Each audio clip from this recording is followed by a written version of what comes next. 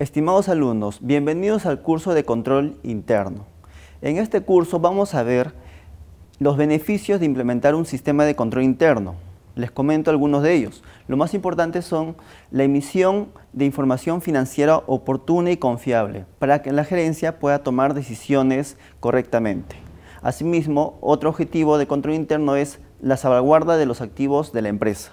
Por último, tenemos el cumplimiento de las normas y políticas que eh, deben regir la empresa. Asimismo, recuerden que un control interno deficiente es una fuente natural de riesgos, ¿no? riesgos legales, riesgos informáticos, riesgo de pérdida. En este módulo vamos a evaluar los métodos eh, del sistema de control interno. Entre ellos tenemos los tres que son más importantes, como cuestionario, narrativas y derrama de flujo, mediante el cual podremos evaluar un adecuado sistema de control interno para la compañía, para una adecuada toma de decisiones. Muchas gracias. Nos vemos en las próximas clases.